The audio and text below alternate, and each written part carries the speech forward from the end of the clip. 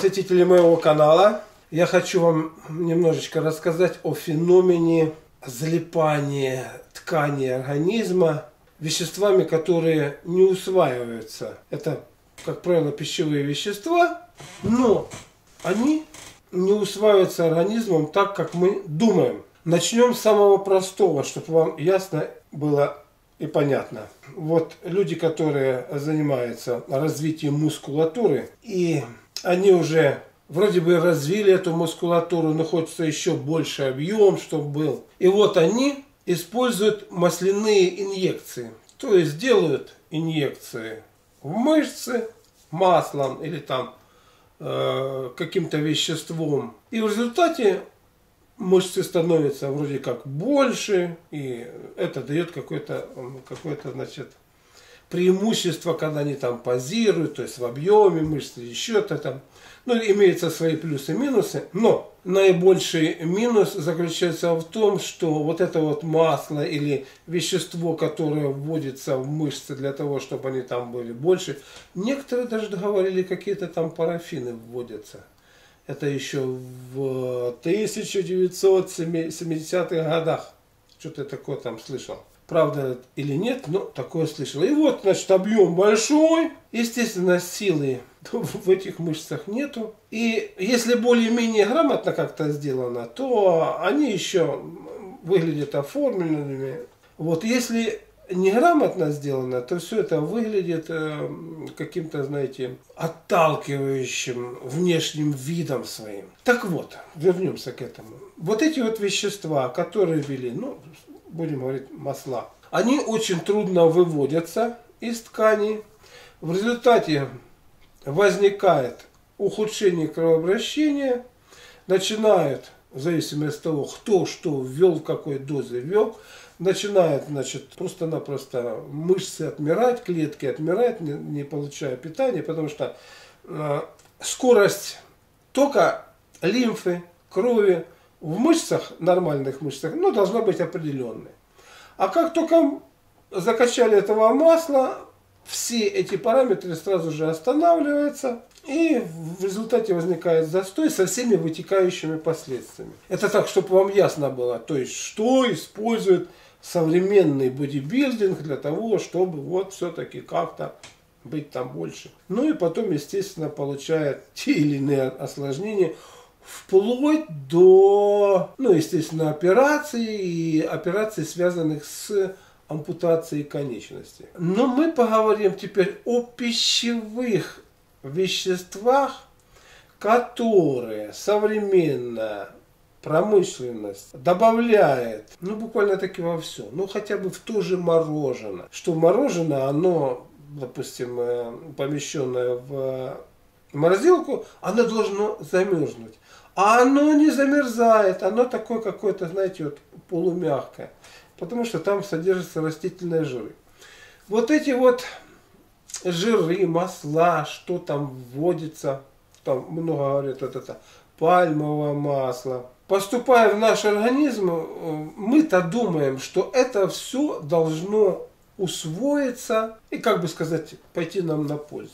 И у кого-то и усваивается, а у кого-то она не усваивается, в зависимости от особенностей организма, а мы все с вами разные. И происходит следующее, постепенно, вот это все, что мы приняли, вот эти масла, вот эти вещества, они, пройдя через желудочно-кишечный тракт, всасываясь в кровь, помимо того, что загрязняет в первую очередь, это нашу печень, она хуже работает. Второе, значит, когда печень уже перестает особо работать, они начинают током крови разноситься э, по всем тканям нашего организма. А очень важно понимать, что слизистые шлаки, вот, вот этой такой природы именно слизи, ну типа вот э, если мы посмотрим, что у нас выделяется из э, легких, из носа, это слизь. Слизь разной консистенции. Жидкая слизь, более твердая слизь и еще как-то. Вот это все у нас выделяется через легкие и носоглотку. Естественно, вот, вот эти вот ткани, ткани вообще всего организма, но особенно вот верха тела, они э, как бы пропитываются жиром. И вот у меня, я почему с вами делюсь, буквально таки несколько дней назад был такой этот феномен. Я покушал там мороженое, а до этого, до этого хочу сказать, смотрите, я особо не кофеман, но как-то это, знаете, вот, ну, как бы, чем там заниматься. Я в день выпивал по маленькому стаканчику, это, по-моему, наверное, 200, 200 граммов графика. Раф это кофе с, со сливками. До этого там капучино. И что я, что я заметил? Что я заметил сначала? Когда я стоял и покупал вот этот кофеечек, кофейню привезли молоко, привезли сливки в пачках. И это все было просто-напросто, знаете, не в холодильник сложено, а просто открыли шкаф, туда раз-раз-раз положили. То есть ни сливки, ни молоко не портятся. На самом деле это очень скоропортящийся продукт, который надо использовать. А тут сложили. О чем это говорит? Это говорит о том, что, во-первых, там имеются и вещества соответствующие, и вообще это становится каким-то инертным продуктом, с которого готовят кофе и вот эти все эти кофе содержащие продукты, раф там и прочее, прочее, там капучино. И что я заметил? Начал попивать, и вот в легких в носоглотке ну, чувствую, накапливается слизь. Ну, вроде я там небольшой стаканчик брал, а брал там маленький стаканчик, ну, вроде где-то там приятно было. Пил, как бы сказать, своеобразный такой ритуальчик. Иногда я им даже завтрак заменял. Ну, более-менее, но, но вот это было чувство. Особенно, когда погода становилась дождливая, и ты еще пил вот этот вот рафик, ну сразу же сопли возникали. Ну ладно, где-то, знаете, мы миримся там, вкус, муш, шмус. Ну вот произошло то, что и само кофе стало настолько безвкусным, какой-то суррогат этого кофе, что я просто-напросто, ладно, перестал там пить. Люблю мороженое, мороженое, там пломбирчик хороший, то все, пятое, десятое. Вот я, значит, взял, знаете, большие такие килограммовые пломбирные эти мороженое. Вот. Ну вот так это самое, где-то килограммчика два, наверное, огрел. Чувствую, я заболел. Заболел чем? Именно вот этот насморк, вот это вот слизь. Я, значит, сразу же пошел в баню. И что я в парную? Я парюсь, и я чувствую, что у меня вот на, через кожу выделяется вот это какое-то масло. То есть Одно дело под жидкий, а другое дело он как какое-то масло выделяется через это.